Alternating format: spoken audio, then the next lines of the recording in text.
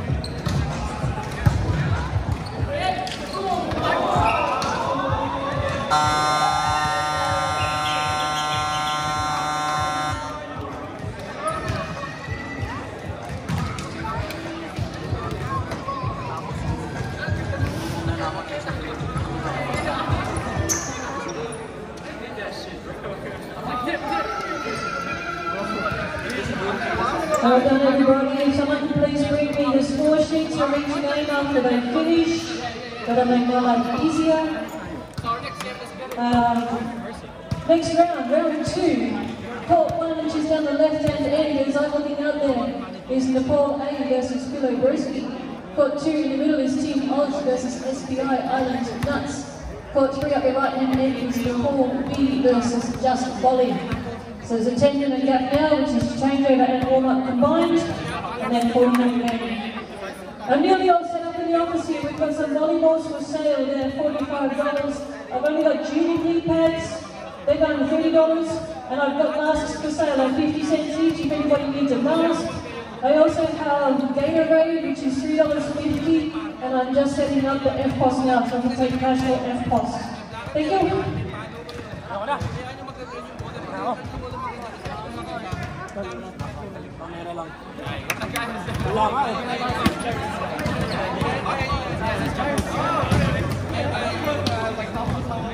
Brad!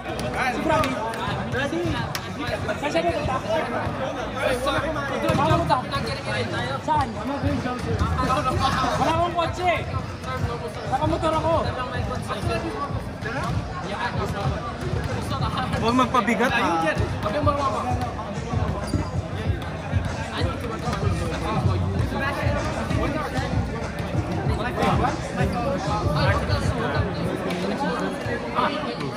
The fuck.